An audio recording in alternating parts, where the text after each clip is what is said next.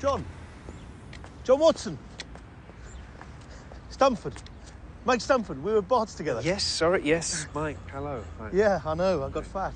No, I heard you were abroad somewhere getting shot at. What happened? I got shot.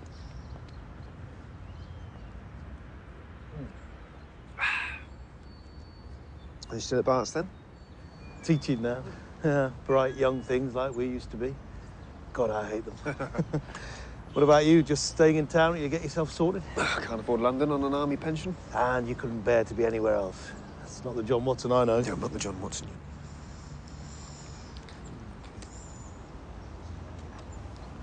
You.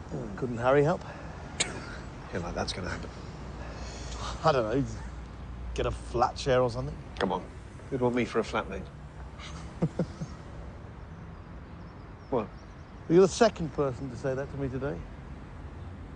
Who's the first?